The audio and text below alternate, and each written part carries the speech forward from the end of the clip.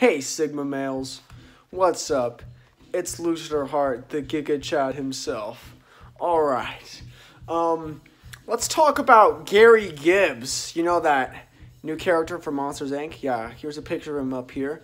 And yes, uh, he looks cool because, you know, he just like blew Mike Wazowski and he's going to be the enemy of Mike Wazowski.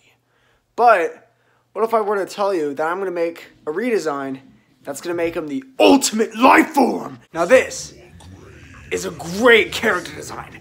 Now he is the true enemy of Mike Wazowski and will do everything he can in his power to destroy him with his good, edgy backstory with his missing wife or something.